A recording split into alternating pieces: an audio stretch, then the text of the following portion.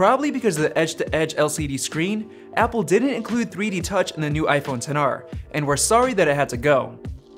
Every iPhone since the iPhone 6s has measured the deflection of the device's screen for 3D Touch, and that capability is now gone on the iPhone XR to give us the new rounded edge liquid retina display. Thankfully, Apple has implemented an alternative, haptic touch. Instead of detecting pressure, it simply registers how long you leave your finger on a UI element, similar to how long pressing worked on iPad, except that the iPhone XR will give you haptic feedback, hence the name. When the XR was first released, Haptic Touch was a little annoying to work with since it required you to hold your finger on a UI element for longer than with 3D Touch. Thankfully, iOS 12.1.1 added a new menu in accessibility settings that allows you to shorten the duration of the haptic touch gesture, making it a lot quicker to use.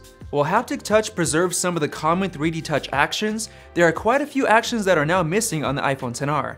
Before we go through all of them, let's take a look at the actions you can actually do with haptic touch. First of all, you can use it to turn on the flashlight or open the camera app straight from the lock screen. You can use it to clear all notifications as well by haptic touching the X icon within the notification center. You can now bring up a trackpad while typing text into the keyboard by long pressing the spacebar, allowing you to easily fix any typing mistakes that you've made. One of the actions that was missing when the XR released was the ability to haptic touch on notification previews to quickly reply to messages. With iOS 12.1.1, support for that was thankfully added. And finally, even without 3D touch, you can still view live photos on the iPhone XR by long pressing on them. Now let's move on to what you can't do with haptic touch, that you could do with 3D touch. One of the biggest things you can't do is quick actions on the home screen, since long pressing on apps is already used for rearranging and deleting apps. With 3D Touch, you have access to some pretty handy quick actions like send my location within Maps, create new message within Mail,